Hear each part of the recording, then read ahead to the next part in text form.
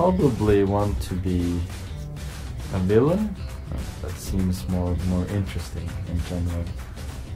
Bane is a cool villain. Uh, maybe I want to be Bane.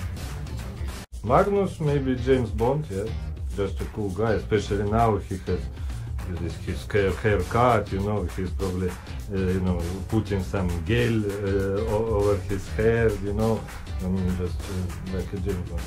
Uh, probably King Kong. I think it's his uh, Hulk. I don't know, maybe he'll be the Terminator. Harry Potter.